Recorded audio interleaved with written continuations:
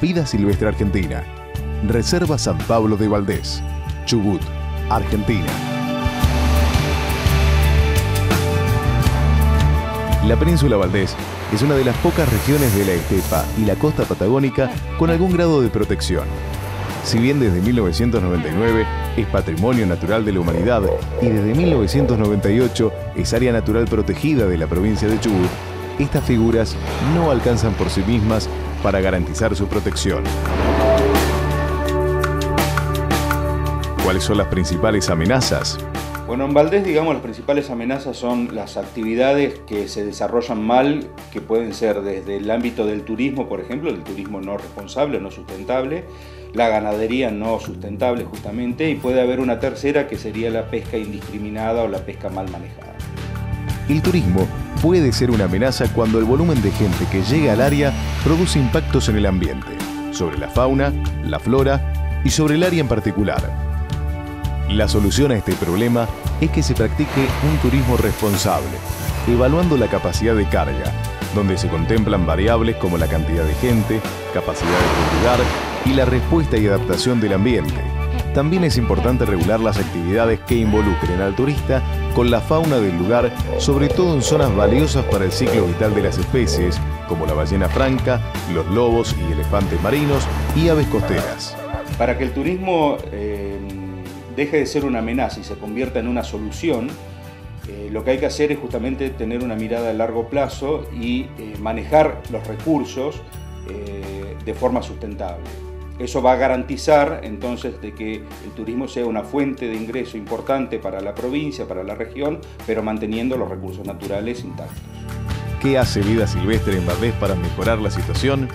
En Fundación Vida Silvestre trabajamos este, para lo que hoy se llama el ordenamiento territorial. ¿Qué significa esto? Trabajar en las diferentes áreas, ordenando estas actividades, teniendo en cuenta la sensibilidad de cada uno de los ambientes donde se desarrollan las mismas. Para lograr este objetivo, participamos en el desarrollo de una ley para regular el avistaje de ballenas. Apoyamos censos aéreos para conocer la ubicación de las ballenas y ordenar la circulación de embarcaciones dentro de la península y trabajamos con propietarios de campos para buscar alternativas sustentables a sus actividades productivas como la ganadería. Y todo esto tiende a buscar eh, justamente soluciones o a, hacer propuestas de manejo sustentable dentro del área protegida con una proyección a futuro.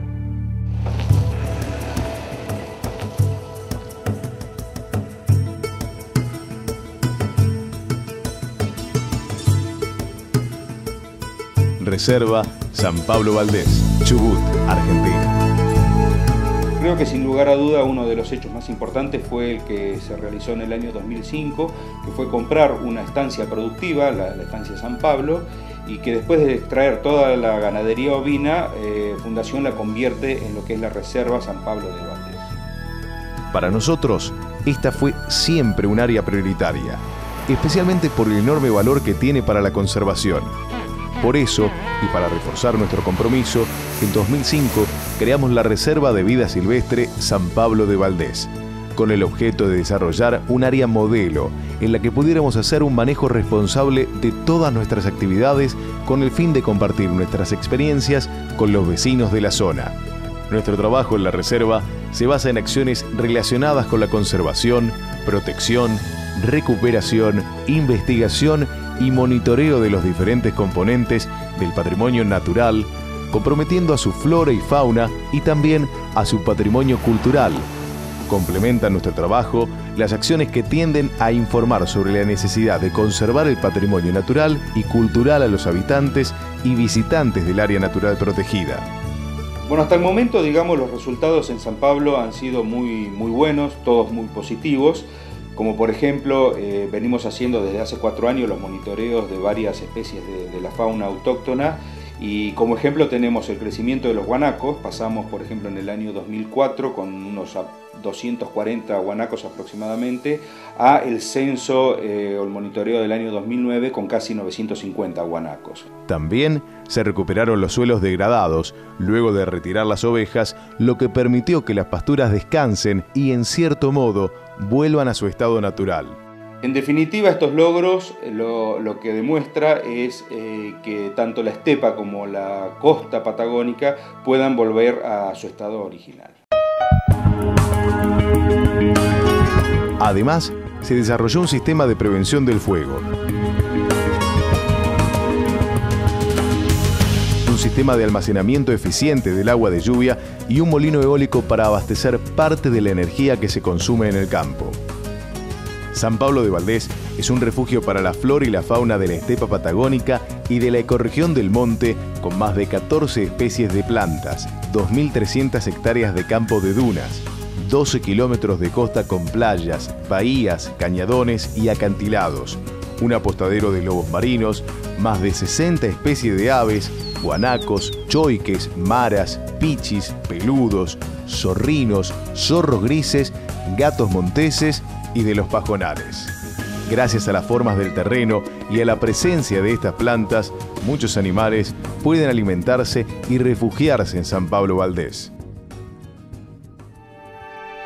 Bueno, la función prácticamente del guardaparque, describirla en pocas palabras, es un poco difícil, pero básicamente el guardaparque es el encargado de administrar, de custodiar, de, proteger las áreas naturales que presentan características fitográficas, culturales, paleontológicas, arqueológicas o paisajísticas de una región determinada, lo cual implica conservar una región. Una de las características que presentan las costas de la reserva es que posee gran cantidad de fósiles y la tarea que realizo es identificar cada uno de ellos.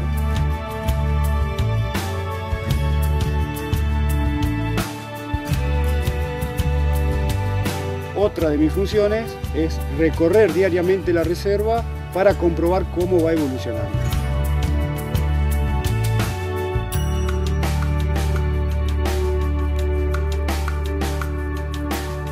Eligió esta profesión eh, porque, por vocación. Eh, siempre de chico me gustó el contacto con la naturaleza, eh, me apasionó el tema de, conservar, de cuidar las plantas, los animales. Y bueno, el beneficio que uno tiene acá es que está en contacto con la naturaleza, que es lo que a uno le gusta, estar en este ambiente, levantarse, convivir con, esta tranquilidad, con esta paz, con esta armonía de las áreas naturales. Eh, pero a veces uno desearía tener más cerca a los seres queridos, los padres, la familia, la, novia, los hermanos.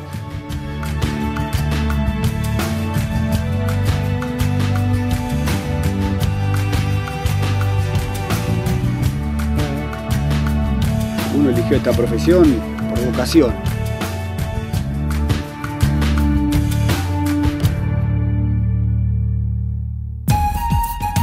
San Pablo de Valdés es una de las pocas propiedades de la península sin actividades ganaderas.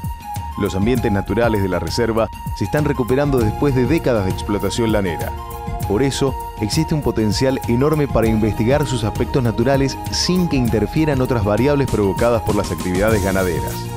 Por eso, y como parte de nuestros objetivos, Vida Silvestre inauguró su estación de campo Andrés Johnson para incentivar a los investigadores del país y del mundo a realizar estudios sobre la biodiversidad de la reserva y de la zona. La estación de campo está equipada para alojar a ocho personas, tiene equipamiento sanitario completo, una zona de trabajo y energía eléctrica. Como resultado de las investigaciones, la Fundación puede mejorar los trabajos en el área, pero también tenemos como objetivo que esto desborden hacia el ámbito local, nacional e internacional. Las puertas de la estación están abiertas para todos los que, como nosotros, tengan ganas de conocer y defender este patrimonio de toda la humanidad. Fundación Vida Silvestre Argentina. Reserva San Pablo de Valdés, Chubut, Argentina.